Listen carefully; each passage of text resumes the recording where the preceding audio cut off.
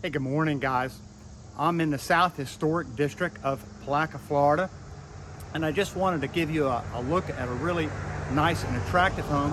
It's known as the Myers Tillman House, built between 1885 and 1887. If you were to strip away the uh, porticos for this home, it's a very simple structure, rectangular in shape, and it reminds me a lot of the old farmhouse I showed you guys uh, a couple of weeks ago, which would be two rooms down, two rooms up with a central hallway.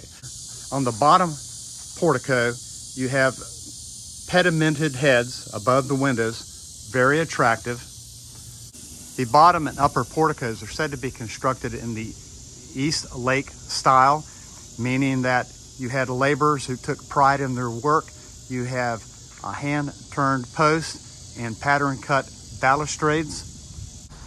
Now on the east side of the house, the side that would actually face in the St. Johns River, which is a couple of blocks away, what looks like an addition off the rear of the home would have actually been the kitchen back in the 1880s and it would have been separate from the main house because of fire hazards. Uh, and somewhere in the evolution of the home and in the additions and the repairs, it has been connected to the main structure. Currently, the roof on the home is tin, but back in the 1880s, it was likely made of slate.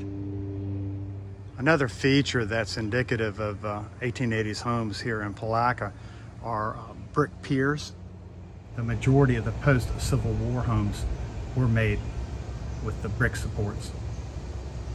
Imagine a better way to start my day than to step out the front door and witness this picture-perfect postcard scene.